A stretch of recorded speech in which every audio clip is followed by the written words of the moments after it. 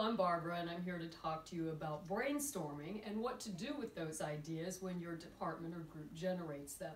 You'll want a way to categorize them by how much they will add value to what you're trying to improve and how easy or hard it is to actually make the idea happen. A good tool for this is called the PICK chart. PICK stands for possible, implement, consider, and kill. And what it does is you take a piece of post-it paper, uh, large poster paper, you make it into a quadrant. You've got on your vertical axis the impact on what you're trying to improve, your key process indicators, your efficiency. So either low or high. And then you've also have the difficulty of implementation, low or high.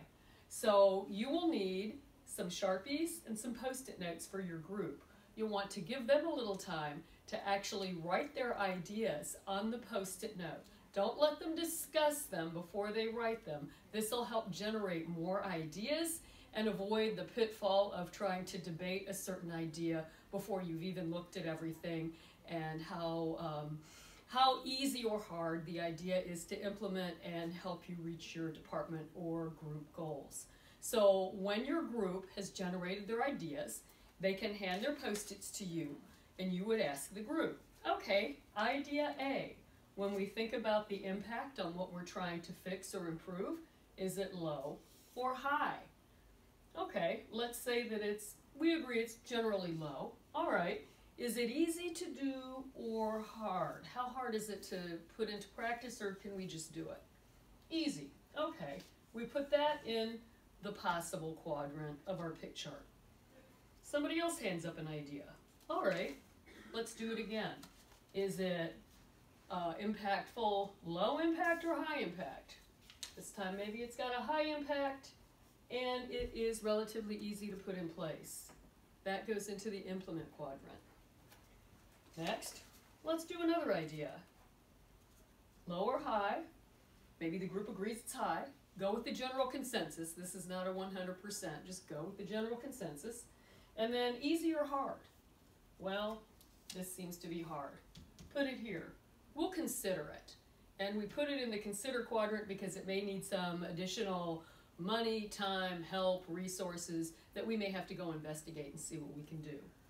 Then the last idea, okay, hard to do, low impact on what we're trying to improve, that's in the kill zone.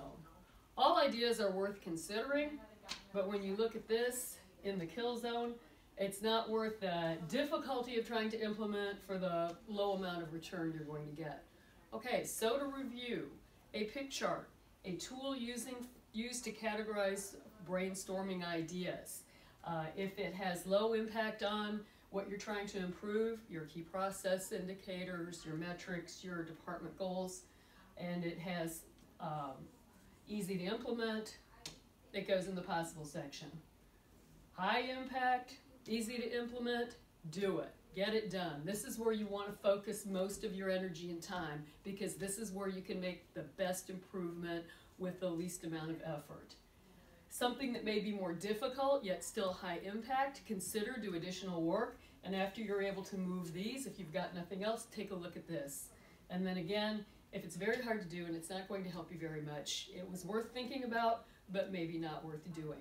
If you have any questions about pick charts or other improvement ideas, you can call me, Barbara Coniff, Client Experience Manager, or find me in Microsoft Outlook, Barbara Coniff, and I'll be happy to help you.